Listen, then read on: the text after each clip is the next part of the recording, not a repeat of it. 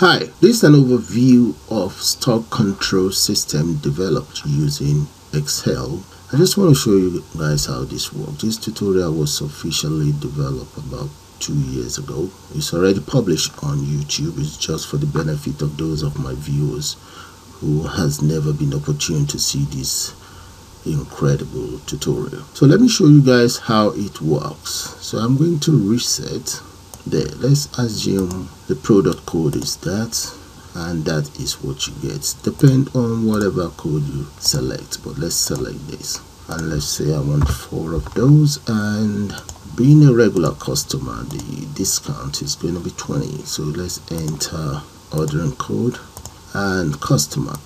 Now the name of the customer let's say the name is Peter Parker right that's my customer name and let's enter the customer's address. 7 York Way there London.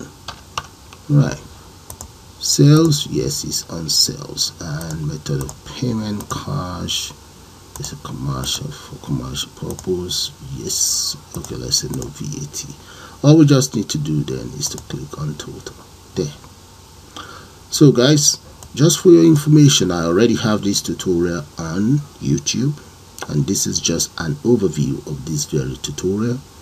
I will also include the link to the full tutorial or the completed tutorial so that you guys can always click on it. The link will be included on the description. And you also have a thumbnail here that you guys can click on. So with that i'm gonna call it the end of this brief tutorial. Bye for now